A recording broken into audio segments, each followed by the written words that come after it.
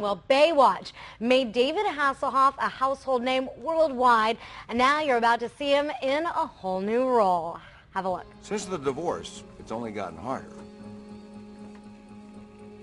But the great thing about fatherhood is you always get a second chance to mess up. Hey, Bud! All right, well, here he goes. The Hoff and daughters, Taylor Ann and Hayley, star in the TV series The Hasselhoffs, premiering this weekend. Fox 59's Jenny Anchondo asked David about his girls and the show.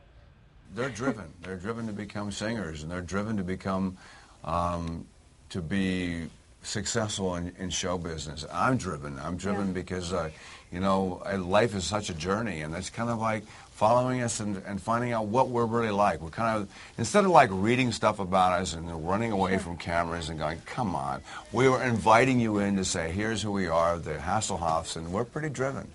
Were you nervous at all about exposing so much in the show, or does it really not expose that much?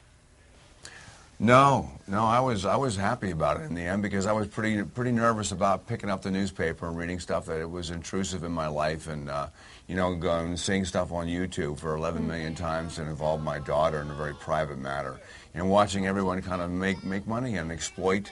You know, oh wow, we found David Hasselhoff in a, in a compromising position. Let's show it on TV. And now you're so going to make the like, money you know off what? of it.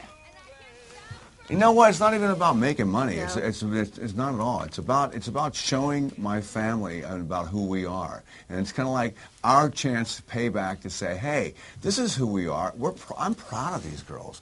They're fantastic children. They've got great him. hearts, And- you know? And, we, and so this is what it's about.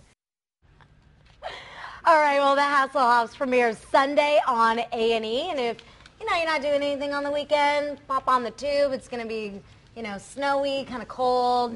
Might give you a little entertainment. Watch it, yeah. I mean, if, if Hulk Hogan and, all, and his family and Ozzy Osbourne can have theirs, who knows? Everybody gets a show. Hey, we are tracking some um, kind of